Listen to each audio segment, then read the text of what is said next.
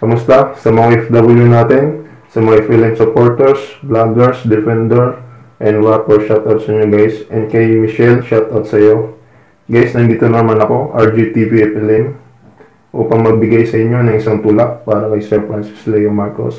Sana ay maibigan nyo. At ito ay aking pinamagatang ang iniidolo. Tara guys, samahan nyo ako. Ang iniidolo. Simula nang ikay lumabas at napakita sa madla, kami ay labis na nagalak at natuwa. Dahil sa taglay mong kabigitan, kami ay labis na humanga. Hindi mo batid ang panganib habang ikay nag-iikot sa paligid. Taglay mo ang dugo ng isang bayani na hindi nakukubli at nagkukunwari. Tinulungan mo ang ating Pangulo na walang pagkatubili. Ang mga nasa lalayan nakatanggap ng ayuda na may ngiti.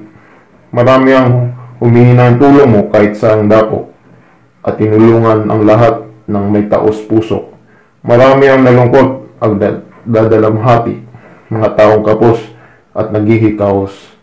Kami nasasabik at iniintay ang iyong pagbabalik. Mga ngiti mo ang nagpapawi ng lungkot at bighati. Hindi ka man politiko, pero puso mo'y pangmasang Pilipino. Handang sumaklolo at magbigay tulong sa ating gobyerno. Handang mawala ang lahat ng meron ka para lang bigyang pag-asa ang taong nasadlak sa dusa.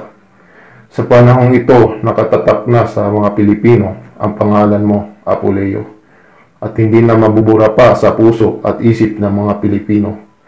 Sarili mo yung pag-ingatan habang ikay nasa piitan. Salamat sa aming iniidolo. Ang pangalan ay Francis Leo. Hindi hindi na magbabago ang paghanga namin sa iyo. Salamat, Apo, Apo Leo, RLG TV, FLM supporters. So yun guys, ang aking inaalay na tulak para kay Sir Francis Leo Marcos. Sana ay makarating sa kanya itong tulang ito. At salamat sa mga sumupo suporta sa aking bahay at sa mga hindi pa po. Please subscribe po sa aking tahanan. Salamat po. Bye-bye.